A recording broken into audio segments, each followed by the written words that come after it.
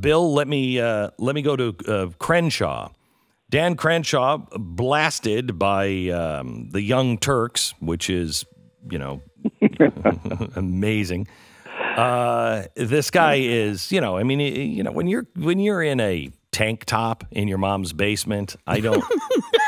I really don't care. It's a good look. Yeah, you didn't like that look. No, I mean, I- uh, no. Uh-uh. So, all right. you know, he's on the Young Turks, and uh, and he blasts Crenshaw, and he's just foul and everything else. Yeah.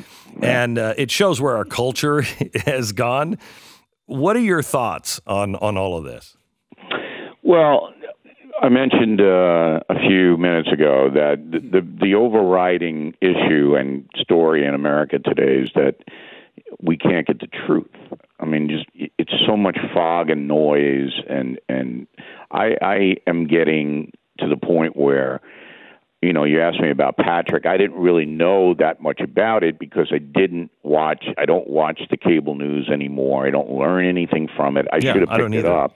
No, I don't. I don't either. I should have picked it up because Yeah. Mm-hmm. I usually do a review in the morning, and I did this morning. Yeah. But I was concentrating on the on the Trump fatigue factor, which I think is going to emerge as a major story soon. Let's talk about that.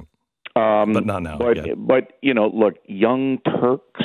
Okay, so this is remember SCTV Melonville. Yes. Remember that? yes. One of the most hysterical satires in the history of of America. And there's a bunch of Canadians put it on Flaherty and all Mm-hmm, those madmen up there.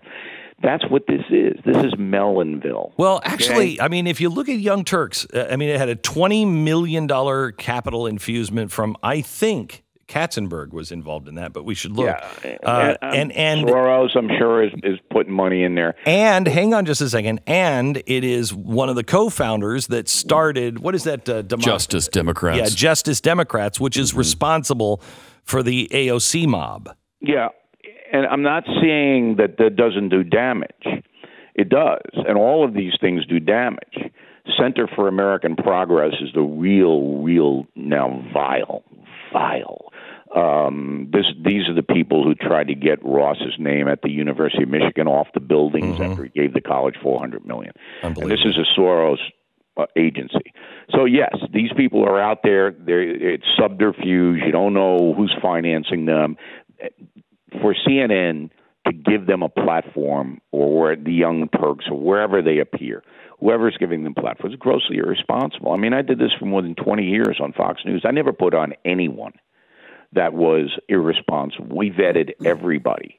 Okay, and and yeah, I could have put loons on and then just yelled and mocked them like Morton Downey Jr. did. It's easy, but what we have now is we have the Tower of, De- of Babel, and we have just a, throw anybody on. They're going to say anything. So if you lose your eye in Iraq, then they're going to mock that. That's what this guy did. All right, on Crenshaw. And and Americans they just walk around where you would have been stoned to death 20 years ago. Oh yeah. You couldn't have done that. Now you can do anything. There are no standards of behavior. So I think Uh, that I think that the average person is just so sick of it, it just goes by their radar. Um, but the media uh, talks about it, and Google and YouTube just dismiss it. I mean, What- they're what they're is fine. They're fine with is- making money off of these guys. What is but- incomprehensible is there isn't any growth in the cable news and hasn't been for three, four years. Mm-hmm. Without Donald Trump, that props it up. Okay, so take Trump out of the mix, you have nothing. I mean, CNN doesn't have one program doing more than a million viewers for 24 hour cycle. So you take him out of the mix, then who are they going to hate then? All right, and then they're going to have 500,000, 400,000. And so these corporations have got to know, got to know they don't have any growth at all anywhere. Not, nothing. But yet they do the same thing every single day because they don't know what else to do. All right, and they're so untalented, so uncreative. They have to do the same thing, say the same thing, same people. It's unbelievable. And again, Trump drives 90% of cable news coverage, 75% of network news coverage is Trump.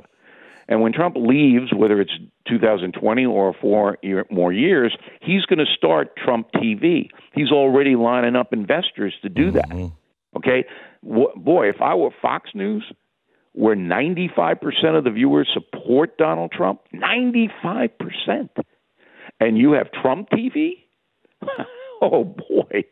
So anyway, um, it, it is it is a madhouse, and I, I use that word literally. And if people are on there, they're going to hear and see so much irresponsible, deceitful stuff that uh, my advice is just walk away. Walk away, get out of it. And that doesn't mean they're all bad. They're not all bad. There are some good people, um, but they're getting fewer and fewer.